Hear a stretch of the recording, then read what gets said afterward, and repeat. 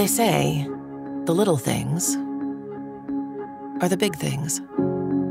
The little moments, the little thoughts, the little decisions. And we certainly agree. We see it every day. Little things make big things happen. A little text, a little drink, a little extra speed.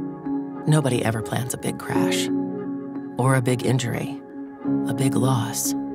It's just little things. And that's actually good news. Because little shifts in attitude, little changes in habit, can make a big difference. So please, pay a little more attention, act a little more responsibly, and drive a little kinder. Little things make big things happen. And when we all shift our behavior for the better, even just a little, everything changes.